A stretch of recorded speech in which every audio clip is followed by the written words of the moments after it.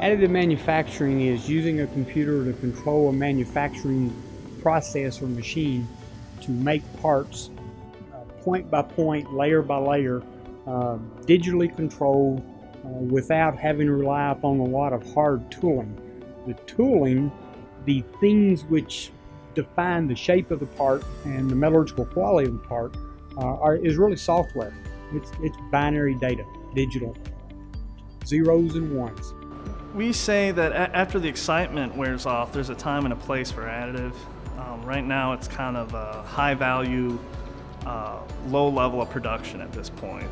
I mean, you're not going to make the Ford Model T with additive manufacturing, um, but you can make very precious components that are of high value and of a customized geometry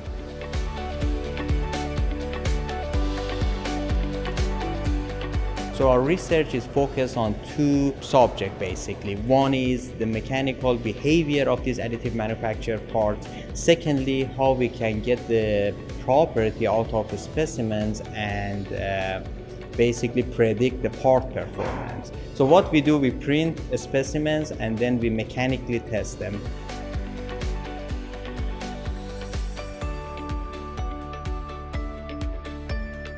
Our approach is not to go with the high industrial scale electron beam sources that Arcam uses, the only commercial company making those units. We've taken the approach of using cathode ray tubes, the old television sets that, were, that were really deep.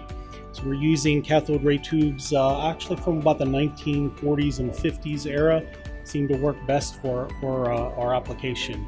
Rather than going out and buying a very expensive commercial system, and then using whatever parameters that the builder of that system gives us to build parts, we're actually building the systems ourselves.